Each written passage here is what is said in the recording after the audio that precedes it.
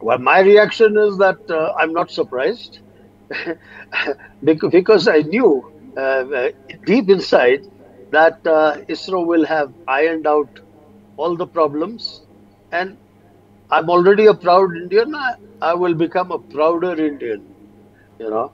And इसीलिए मैं हर समय यही सोचता आया हूँ कि मेरा जो जन्म हुआ है वो बहुत जल्दी हुआ है वो इसलिए क्योंकि हम स्पेस एक्टिविटी हमारे कंट्री में सही तरीके से मैन स्पेस प्रोग्राम अब शुरू हो रहा है।